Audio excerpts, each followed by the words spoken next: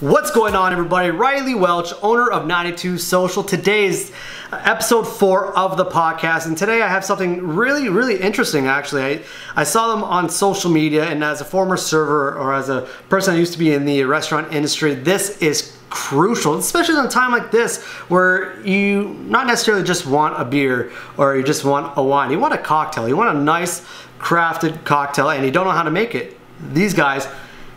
Open Bar Toronto Woo. Go check them out. We'll plug you guys later. But I'm with Doug. Doug, man, how you doing? Hey, man, how you doing? Good. Thanks for coming on the podcast, man. This is a this is an exciting time. Uh, it's it's it's one of those things where you never think about it until you, you see someone do it, like yourself. I'm like, this is so smart. Everyone needs to know how to make a well uh, crafted drink. So, just to start off, like, how did this all started? Uh, well, originally Open Bar TO uh, started as a beverage uh, catering company. So we um, we sort of you know we went to a wedding like everyone's been to a wedding where the service sucks and they run out of red wine or whatever, right? So um, that's how that's actually precisely how it started. We were at a wedding and we were really disgusted and we thought, you know, we can do this a lot better. We're hospitality professionals ourselves. We can do this better for the money that people are paying and and and all that. So we started Open Bar TO with the goal of raising the bar in um, in beverage service for catered events, so weddings, corporate events, all that kind of stuff. Uh, and that's been great. We've been doing that for about two years, uh, and then the pandemic happened. Uh, so here we are, right? Um, so we saw a bit of a need uh, where, well, mostly in ourselves, actually, right? Because we're all in the same boat. Whether you're working uh, working from home, pardon me, uh, whether you're out of work, whatever. Everyone's kind of stuck inside without much to do, and that gets old really fast. Um, I've been drinking the same beer for a month before I was like, you know what, I've got to, I, I have to do something different. I know how to do it, right? Yeah, so like, yeah, I, yeah, yeah, I need to do something different. So we saw two needs actually. Uh, we thought, you know, people are are sitting at home, not a lot of uh, of stimulus in their lives. Uh, and we thought, you know, we can sort of bring a skill. And I think a lot of people are doing that. A lot of people are learning different things and taking this opportunity to do different hobbies. Uh, we thought cocktail making would be, you know, kind of a great, a great thing. So we wanted to be able to teach people how do we make pro level cocktails at home. And then the other need was uh, sociability. You know, uh, we we all don't have that outlet anymore. You know, uh, we're doing this thing all the time on Zoom or House Party yeah. Uh, I, do, I, do, pub nights on Saturday night with my boys, uh, which is oh yeah, it's great, yeah. right? But yeah. um, again, I, I find it gets old pretty quick. So uh, again, this this type of service we thought could uh, liven things up a little bit for people and give them something uh, constructive to do. Yeah, see, that's a good point because everyone now that you know you haven't they're not in the office or you're not in uh, a party atmosphere, but you're always having happy hour, virtual happy hour, or pub nights, and always come to a, a beer or a whiskey. But why not like wow your friends or maybe your partner who you know doesn't necessarily know that you have that interest. But it's, it's funny that you mentioned where it all started from a wedding. It all started because a lot of times people are there just to dance, and every entrepreneur has that moment where they're like, "It's a good idea, but I think I uh, I think I can do it better." That's how, how everything kind of starts and that's really cool and uh, so first and foremost uh, we both work in the industry you're working in the industry. What as a bartender as a mixologist how like what bar makes the best cocktails or what's your go-to spot? That's a great question. I first i'm gonna i'm gonna frame this in uh, I, will always be a bartender at heart, and lately I've been doing this a lot. So I'm I feel very much like a bartender. Uh, I'm I'm more in upper management these days, okay. uh, but I, I, was a bartender for many many years. Um, so I, I will sort of answer these questions through that kind of lens. Okay. Um, in terms of uh, yeah, my my go-to spot that's that's tough. Uh, a lot of us in the industry, and uh, if there's bartenders and servers watching, uh, you guys know we we tend to like our hole in the walls, the the bars in the the yeah. dark alley that no one else knows about, and uh, you know for a variety of reasons. Maybe because they're not busy, and we love that. or uh, who knows. Um, but rather, honestly, rather than shout out, like a, there's there's thousands of amazing cocktail bars in Toronto, right? Like we we live in such an amazing city for that purpose. Uh, rather than shout out a couple options, because I feel like if I if I gave you two or three great spots, I'm going to be leaving out the other hundred that are also doing really amazing things. Mm-hmm. Uh, so honestly, for if if people are into going to get a, a great crafted cocktail, I would totally recommend just look for the places you wouldn't normally see. You know what I mean? Google it, Google cocktail bar near me, and you'll be surprised. I do it all the time, and I the the search results change constantly because there's always different places to try. So I I suggest doing that. You know, self exploration, and uh, I would maybe if you're looking for craft cocktails, I would maybe avoid kind of the large corporate big box kind of stores, but that would be my only piece of advice, you know? But it's it's funny you said the you know when you're in the industry when you go to like a hole in a wall or like a it's like a, a, a space that no one really goes to because one you worked a long night you talked to a lot of people and second you're just like all you want to do is just drink and hang out so that's a very industry answer. I love that. I had that in mind. I was like, I think he's going to say it. I just want to check it out. I'm like, perfect. Uh, so, like you were saying, you make a lot of drinks at home. What's your go-to drink? Well, uh, that's a good question. Um, I'm a whiskey guy, uh, as is as is my uh, my partner. Um, so, you know, we well, we run a bar catering company. So, I mean, we've we've got a good stock of of, uh, of cool stuff. Yeah. Uh, and my partner actually, she works at, uh, I'm not going to shout out the name for branding, but uh, yeah. she works at an amazing, amazing whiskey bar. So she's, uh, she's got this amazing stock of stuff. So we like oh. to do kind of whiskey forward um, kind of stuff. So yeah. like my, my go-to honestly would be like an old fashioned. And even if I was back at work making drink, if someone said, Hey, you know, what's your favorite drink to make? Um, I like to say an old fashioned because it's uber simple. It's like the, the ingredients are so, so simple. It's whiskey, sugar, citrus, and some bitters, and that's it. However, every bartender in the world makes it a little bit different. Hmm. Uh, and that sort of showcases their own style and their personality. And, you know, I, I think that's, that's an amazing example of a drink. Yeah. See, ooh, I think we can have another podcast just on whiskey because I'm a whiskey man too. I have like I have a good stock of it. I always love talking to other people. I'm like, oh, so what kind of brands are you into? Uh, what are you drinking? Like, what's your like top shelf whiskey? So it's it's different. That's a different episode in itself. Uh, but uh, yeah, so like, if you're, let's say, like we were talking, going back to like a happy hour, or if you have like a Friday night with your partner, uh, what is the uh, easiest, fanciest drink to make? easiest, fanciest. Um, yeah, that's interesting. You know what? Actually, why don't I use that opportunity to make you a drink right now? Done deal. Ooh, second cool.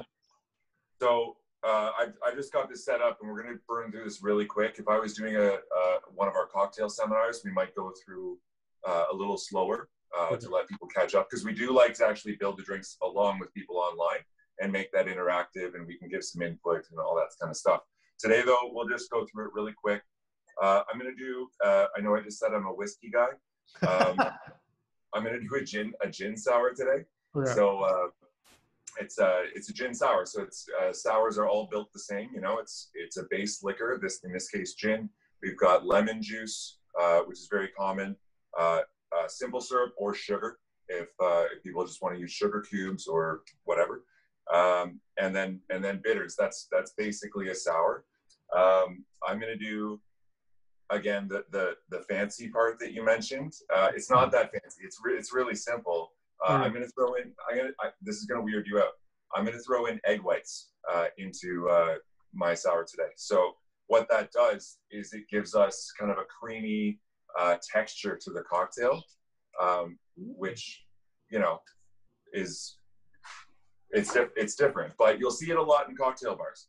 So, yeah, that's that's a great idea.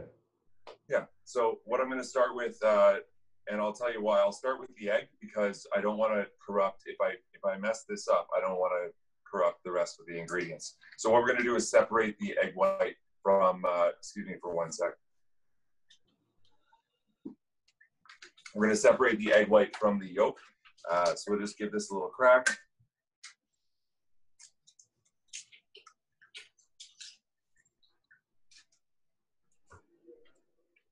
Okay, all right. All right, so, and all we're doing is passing the yolk back and forth between the two halves. And it's gonna empty the egg white into our cocktail without breaking the yolk.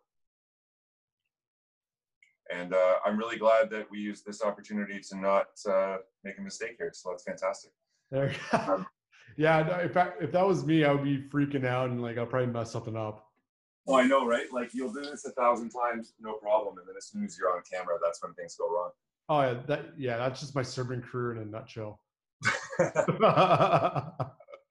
so uh, our seminars are all about making this accessible for people at home. I happen to have kind of bar appropriate tools at home. Yeah. Uh, it's not necessary. You can do these things in kind of whatever you happen to have. I happen to have a shaker, so I've got my egg white in there already. I'm going to take pure lemon juice. Now, the reason I'm doing this next is we want to cook the egg white and break down the proteins. So we're going to uh, just add in uh, one ounce of lemon juice into this. I'm going to uh, take my gin. Let's do the gin next. I'm, I'm, using a Sipsmith gin. You can use whatever you want. It's just a typical London dry. Uh, we'll do two ounces of that.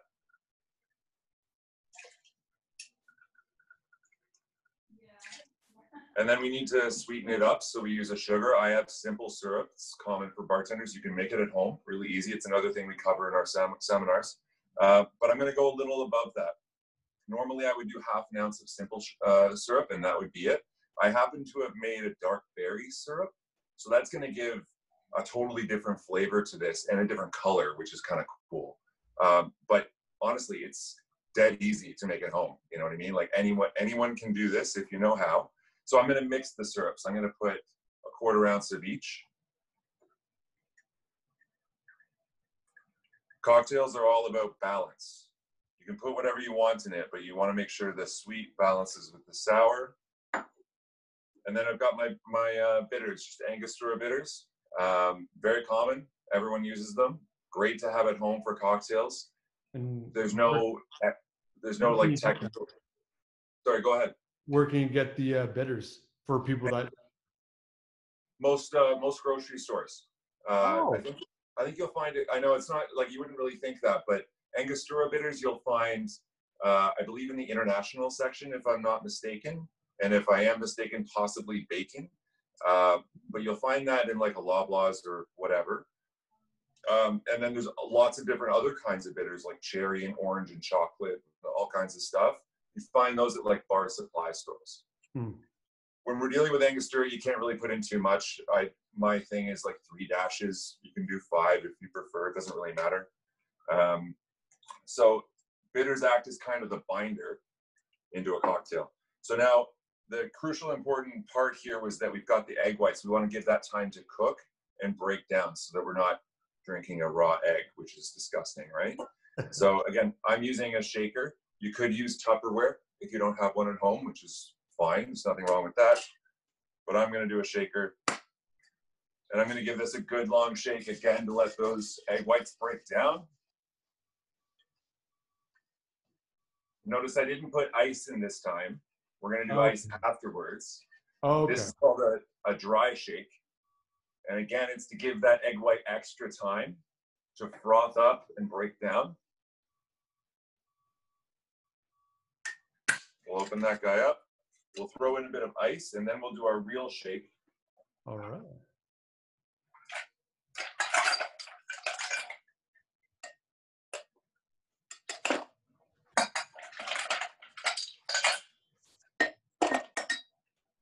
And I'm gonna get my uh, my glass already here full of ice.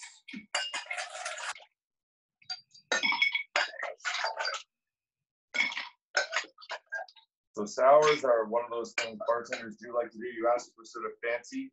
It does look look fancy. It takes an extra step to do, but it's as simple as any other cocktail, you know. So we've got our ice in here, so we're gonna give this a really solid shake. There we go. Yeah.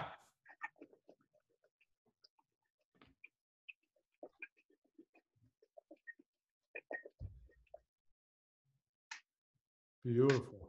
Important yeah, on tight because they do like to explode. Oh, oh yeah. All right. So then we're just gonna use a, a strainer. Again, you can find whatever way you want to strain at home, and we'll toss that over ice. Ooh, that is the easiest, fanciest drink. It gives a really nice uh, flavor, and no drink is uh, finished without the uh, the garnish. And this is gonna be super simple.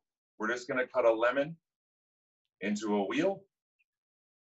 You can do whatever you want, but uh, this is dead easy. And we'll just throw that right on top. Ooh, And you notice the color, we've got a lo- nice little pink. That's the dark berry syrup. okay. You know what I mean? Yeah. Th- Yeah, That's our- damn. And it's that easy. Man, that is see, I a lot of people don't realize how you know obviously there's other drinks that are more intricate and a little difficult, but majority of the time, good cocktails are you know simple to make or they're easier than you think to make, and that's awesome. And you didn't mention earlier before, let's get on to a open bar, Toronto, uh, oh, the online seminars. So how does that work? How do people kind of get towards that? Yeah, that's that's a good question. So I mean, we're just like everyone in the world. We're we're trying this out in this brave new world of ours. So uh, we just finished, or we're about to finish tonight. We're going to do our last our last uh, online online seminar for the moment. Uh, what we wanted to do was do a string of them. So we did whiskey cocktails, gin cocktails. Tonight is rum. We did a vodka cocktail session. Uh, but we wanted to get used to the technology and make sure that we're formatting this properly, get a lot of feedback from people and, and see what, what do they really need to know and, and want to know out of these seminars. Uh, so we're going to finish that up uh, and then start kind of a once every two weeks uh, basis. So keep an eye on our website to see what's coming up. Um, anyone watching at home, if you have things that you specifically want to learn, for example, um, tequila cocktails seem to be what what people are really uh, craving these days, apparently. So we're going to do that. We're going to do a, a sangria seminar, um, but we're going to do these once every two weeks or so. Um, so how you do that? You just you sign up. Uh, we do charge ten dollars, and some of our uh, some of the proceeds go towards a charity called the Bartenders Benevolent Fund, and we're super Mhm. proud to support that. Uh, it helps bartenders, servers, hostesses, bussers, all that, all front of house people that have been put out of work through this situation, kind of support themselves with their bills. Um, so yeah, so we're we're excited to be part of that. Um, so that's how that works. The seminars last about an hour, hour and 15 minutes. We go through two, three drinks, and it's very interactive, but it's mostly instructional. But we do offer another format that we're really excited about that we're going to begin pushing now, and that's uh, online cocktail parties. So that's more of a social thing, you know? So that's like if you've got a pub night with your friends or a regular meetup time, uh, now we're going to offer you or could offer you a little bit of structure behind that. We'll come in, we'll spend an hour and a half, two hours with you live. We'll all make a couple cocktails as a as a group, so there will be an educational component, um, but it's a social thing. We can all chat with each other. You guys can have your your kind of a night, and uh, we can all have a lot of fun. It's also good for team building for corporate events as well. That is very true. That is very true. I remember those days in a serving uh, in a restaurant that we had like those nights. We had like, in, the industry night, like on the Monday, Tuesday, maybe Sunday, where you get together, possibly go to like a cooking class or may possibly like a, uh, like a drinking class, like you how to make a drink, not drinking class. That's a dip. That's pretty much after shift. Uh, but yeah, that's something great. Uh, but have you noticed anything different from the recent events? Uh, has your business been affected by uh, COVID nineteen? Yeah, I mean that's that's a good question as well. I mean, I think it's really it's it's it's very unfortunate to see. Let's get that out of the way. I mean, we all know that businesses Yeah. are really struggling to uh, to maintain themselves, and we're seeing unfortunately a lot of great places close. Uh, so obviously, we're hoping that'll turn around. Um, at heart, Open Bar TO is still a, a catering company, and right now, no one's catering anything. Uh, but there's a lot of people that are are looking towards, you know, we were supposed to get married this summer. uh, now we're going to push it to the fall or next year or whatever. And so we're getting a lot of calls about that, about future events, which is great. Um, so there's an optimism, uh, which is great to see. Yeah. Uh, but right now, there's not a lot of business happening for us.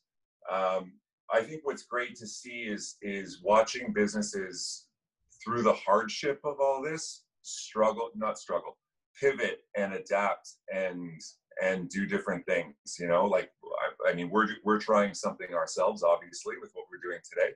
Mhm. Um, but you'll, you, I mean, the world that we saw in regards to takeout a month ago was very different than the world we see today. Mhm. You know, now they're offering cocktail packages. You can you can order wine and beer. Uh, they're some restaurants are offering like a catered dinner for two, all set up and ready for you. Like that's that's cool, you know, and it's great to see these adaptations uh, happen. You know. Yeah, no, I, exactly. Because last week I was, uh, we, me and my girlfriend ordered from a spot uh, where we live, and not only that they have the cook, like you're mentioning, they uh, they just give you the ingredients and you cook it at home, but it, they have like a general store, a liquor store, and then the restaurant, and then like it's for me as a person like an entrepreneur i looked at look at that I'm like that is a great idea. It's a great way to um, go with the trends and adapt to the situations that you've been held because other than that you're be just sitting there. So instead of just sitting there you're just going with the times and i'm so happy to one support them because the creativity is amazing. And then again it's always important to support local businesses local uh, restaurants in a time like this and if they're putting their best foot forward we should do the same. We should at the very least maybe pick up a bottle of wine or a six pack of beer at least something to show them like hey we got you because you got us way before this whole thing started. So i'm happy we got that uh, topic covered. Uh, so as a server i had a lot of pet peeves. I had a lot of things that that annoyed me and one thing that i didn't think so for the bartenders is that putting drinks in different glasses is that overrated or underrated as a bartender or uh, as an industry professional Yeah, no, you're you're you're right, and uh, you know it's one of those things that does it really matter? I, I mean, probably not, but it yeah, it bugs the hell out of me too. yeah Um, yeah, I mean, like that. That's to me that started like ten years ago, fifteen years ago, when um, you know we all started putting beer in the correct branded glass. That I don't know if anyone remembers, but twenty years ago that didn't happen. Um, so and now that's just an expectation you know, which is a great a great sign of the industry evolving and becoming more specific and more detailed, and that's that's great. So that yeah, you're right. That drives me nuts when uh, when it doesn't happen. Um, yeah, pet peeves. I mean, like it happens. It happens all the time. You, you I, again, I'm, I'm I'm a manager, so half my job is trying to not sweat the small stuff, uh, Mhm. focus on the guest experience. But yeah, there's there's those things. yeah it's it's definitely crazy there's so many stories in the restaurant industry especially as a manager and especially dealing with guests that didn't have the best experience and it's one of those things where you try everything eh, to make them happy um, obviously not naming names or anything do you have any mo- uh, moments or uh, memories where like uh, you know, after it happened, like I will remember this for a long time because I I definitely have a few moments or stories that I have from the restaurant days. yeah, I mean, I- uh, I don't even know if I want to want to call out specifics there, but See, uh, See, it's I'll kind of crazy. I'll tell you a general a general rule I found is you know when when you're uh, dealing with I don't even want to call them difficult situations, not difficult people. Mhm. Um, as long as you're you're all speaking the same language, and usually you you are. You know what I mean? Like ultimately, a guest wants a great experience. We want to give them a great experience. As long as we can sort of meet there, then we can sort of find find a path forward and make sure everyone's happy. Yeah, but there's I mean there's times where uh, to be honest, some people just they some people don't want to have a great experience. And they they would like to just be dissatisfied. It happens. I mean, that's, Yeah. although I think I think when we when we all get back to work, hopefully that's going to happen a little bit less. As as I I think this is a, a little bit of a reality check for all of us, and Yeah. uh, you know, even myself, like I'm a little bit more thankful when I go get a Tim Hortons coffee. I'm thankful that, you know, that person's healthy and safe and at work to be able to give this service to me. So that's, I mean, that's great, right?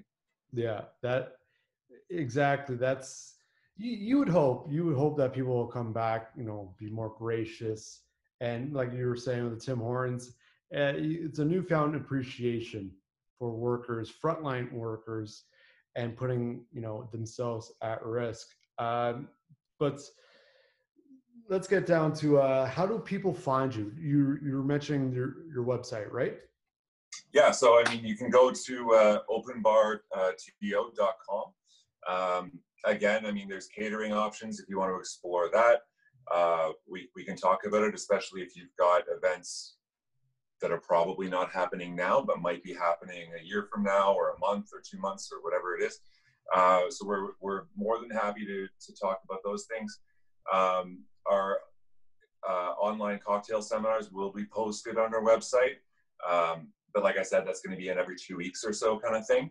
Uh, and then anytime we encourage people to reach out to us, just hop on the website. There's all kinds of contact us buttons. Um, contact us. It emails me directly, and we'd love to set up a private party for you, whether it be for a work event um, or or just to hang out with your buddies. Um, and then also, of course, we're on Facebook and, and Instagram uh, at OpenBarTO. But uh, yeah, we'd love the followers, and we'd love uh, to to keep moving forward with this in this this new situation of ours. You know. Yeah, for sure. Uh, in your, I I was looking over your website. Great website. Uh, you said it's usually in Toronto, but you have a two-hour uh, buffer. And then uh, maybe if it's Muskoka night, you guys would be down. uh, I know I'm so down. For, like I I understand that to the T. Uh, was there any like moments or events that or it's one of those things where like you know what I'm I'm happy I'm doing this. This is this is the reason why I'm doing this. Is, is there any moment that you're like, well, it was yeah, it was it was really educational. I mean, like when I wrote that website two years ago, it was with the assumption of what people are going to be asking me. Uh, mm-hmm. and so it was super educational to find what they actually are asking me. And it's really funny. I mean, uh, there, there's a, some people just have a, a different concept of, of, things. They might call me from Ottawa and say, "Hey, can you come and and bartend an event for uh, you know at our house for ten people?" And I I you know very politely inform them that will be so expensive for you. That's like I, I'm not even going to bother quoting you because you'll just be insulted, and you should probably just find a kid down the street to come do that for you. Um, yeah, I mean, yeah, there's there's there's all kinds of stuff. I mean, it ultimately services like ours are are meant to elevate an event to a level. I mean, that's why anyone would hire a food caterer as well, right? You don't want to cook at home for 100 people, then you know you hire someone that's a pro and is going to do it really well. You hire us for the same reason. Um, if it's for 15 people, might not be worth it for you. If it's for 100, that might be a really good investment. You know, if it's an 18 hour drive away, well, that's that's a that's a different thing. If it's next door, great. You know, and it, it's it's all it's all very different. Every every situation's a little bit different. We've never done an event. We I, this is true. We have never done an event that I had the right preconception about.